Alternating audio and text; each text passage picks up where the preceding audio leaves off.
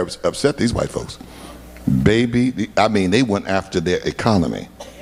These Arabs, the, world is a different place. New York didn't deserve that because New York is cool. New York didn't really didn't deserve that. I wish I could have talked to them.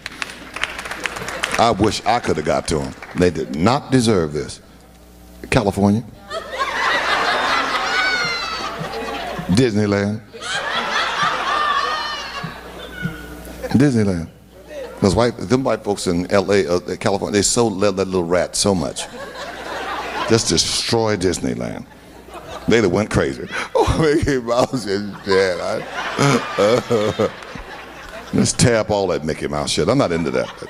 Prejudice ass Walt Disney. Come on, y'all. You know that. You remember that?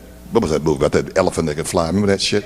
Dumbo with them two nigger magpies. Remember them two nigger birds? I seen a whole, them little nigger birds. What was I supposed to think? They were French birds? I seen a horse fly. I, big eyes. I seen a butterfly.